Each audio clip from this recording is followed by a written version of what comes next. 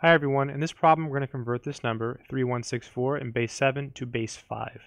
So step 1 will be to convert this to base 10, then we'll convert it to base 5.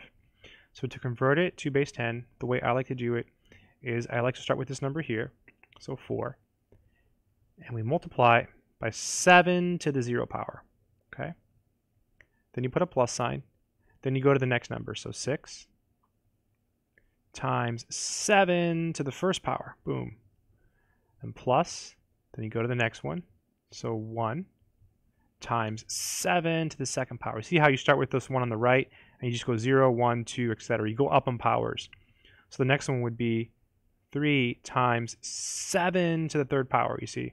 So the pattern's pretty, it's really easy to memorize like this, because this one gets multiplied by 7 to the 0, this one gets multiplied by 7 to the 1, this one gets multiplied by 7 squared, this one gets multiplied by 7 cubed. And you just add them all up.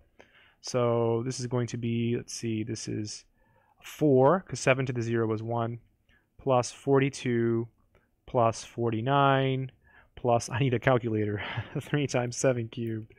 Whoops. Oh, good. I thought my batteries died. Let's see if this works. 1029. So if you plug all of this into your calculator,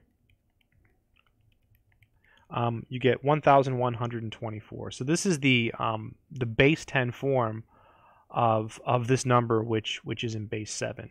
Okay, so now we have to convert this to base 5. This is a little bit harder.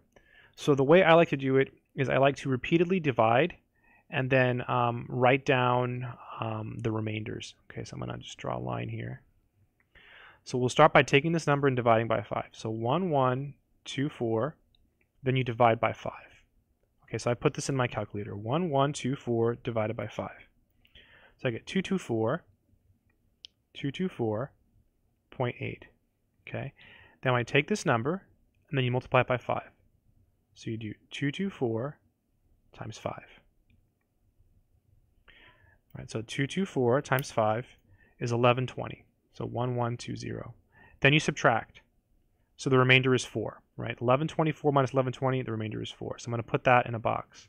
Then you do it again, but you do it with this number, okay?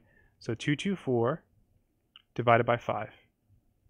So 224 divided by 5. So I got 44.8. 44.8.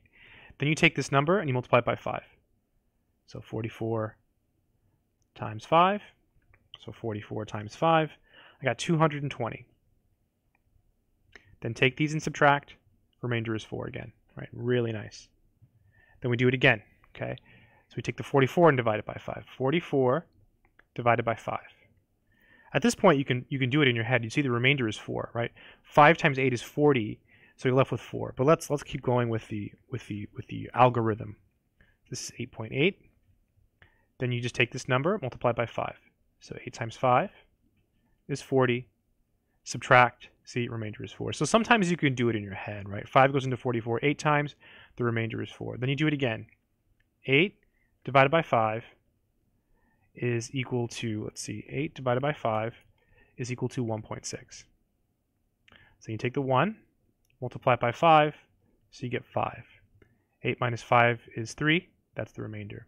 Then you do it one more time. So you take the 1 divided by 5. This is going to be 1 divided by 5 is 0 0.2.